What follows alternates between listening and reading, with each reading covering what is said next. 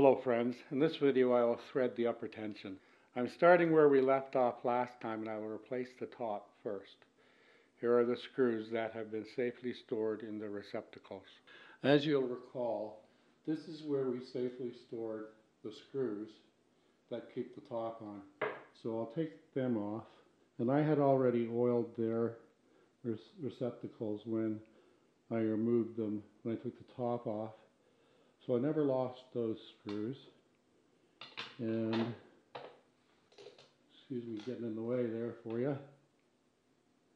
Now this machine, the story on this, uh, this beast is that I bought it South Shore of Montreal, Longueuil, and it was 125 bucks Canadian, which is probably like 90 or 95 bucks American.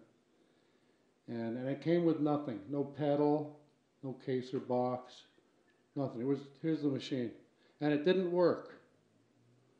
You couldn't rotate the the balance wheel, the hand wheel, and the reason the balance wheel hand wheel wouldn't rotate is because there was a big piece of felt that was stuck up in there. And then what I just realized right now while I was setting up to, to get started here is that is that right here is a crack. Yeah, right there. See that? And you can see it stops right there because there's that kind of supporting thing there. So, so that's kind of interesting too. But we'll get that faceplate door back on as well. And then we'll we'll get to threading the beauty. So it's as simple as there. Slide them forward and then drop them down, close it, and then get the top. I know I already oiled the holes, but I'm going to put a drop on this guy as well. They'll be good for another 50 or 75 years or something. you know, I mean, these machines were great value because well, they charged a lot for them, uh, you know, in their in their time at the day, and they lasted for life. You know, the sewing machine industry is famous for planned obsolescence to try and stay in business, try and survive. So there. Enough about that. I can move those out of the way. And the thread, it goes right on this spring-like metal post. There's a nice black uh, head there. So there's our black thread. Here is the spool pin where the spool of thread goes. So I've got a spool of black thread. It doesn't matter whether the thread comes off this way or the other side like that. It doesn't make any difference. The first place we want to do is come across to this hook here. And we'll just hook it in there like that. And then we want to take it over to the front of the machine like that. It's going to come down like that so we're going to bring it down, keeping it to the right, let it run along the thread guide in between the discs, and then pull it up there. And then it has to go behind this thread guide here, like that. Now we're up at the top.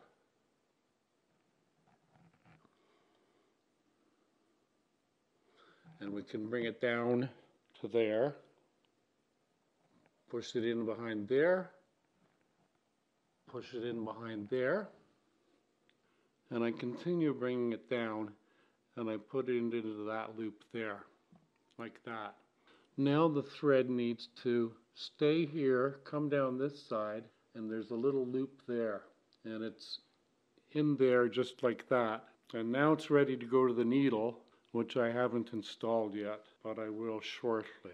Another way of looking at it is this angle here. Look at the thread and see right here how I let the thread guide push it in between the discs and then I pull it up into the check spring.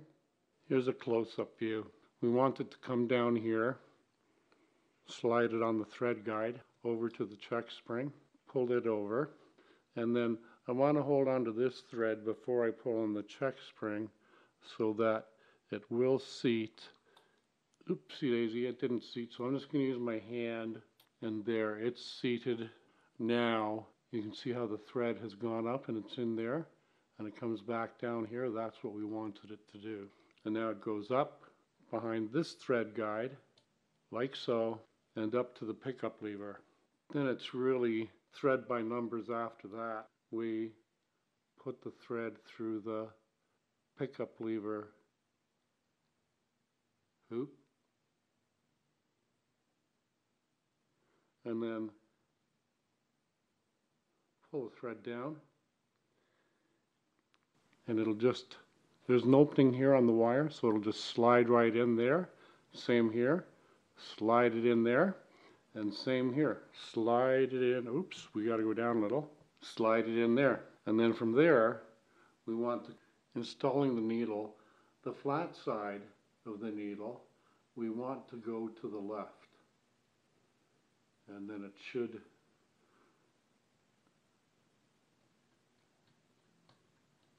seat in there quite. So there I think I have it in there. There. And now for threading it has to go from right to left let me see if I can get it in without even able, being able to see Well, I guess I'm going to have to use a an assister. So here we go. I got to get this in there. Come on, baby. Okay, it's in. And then I want to pull it through like that. And there we've threaded the 301A. Thank you for watching. I hope this was helpful to you. And please do come back again. And have fun, stay safe. Please uh, check out the movies at the end of this video. And uh, check out some of the, the playlists that we have out there. I'd appreciate you taking a look at those. Thanks again, friends. Adios, amigos.